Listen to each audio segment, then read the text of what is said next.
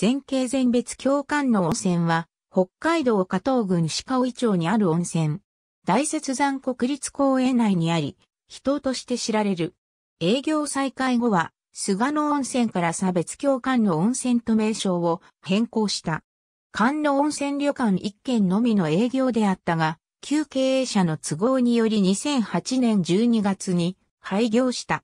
2012年に別会社が買収し、2014年には改装工事が終了し再開業、8月19日から入湯が行われている。再開当初は日帰り入浴だけであったが、その後、木漏れ日荘で宿泊できるようになった。その効能の高さが知られており、甘露で治らぬ病なしと言われている。効能はその効果を万人に保証するものではない。大雪山国立公園内、標高780メートルの差別橋の一軒宿、差別橋間の温泉が営業している。多くの自家源泉を持ち、すべて源泉かけ流しで塩素を加えたり加温も加水も行っていない。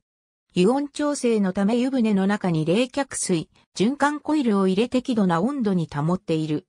中浴場育東なる滝の湯以前、湯船は七福神にちなんだ七福の湯と名付けられたられた九つの湯船があった。旧、菅野温泉全別共感の温泉また周辺には数多くの野湯も存在する。野営場の近くに鹿の湯、周辺にペニチカの湯、ピラの湯、メノコの湯、キヌプの湯、シリコトルの湯などがある。これらは差別や湯群などと呼ばれているが、現在はいくつかを除いて訪問することは困難な状況である。温泉地は日本百名島にも選ばれている。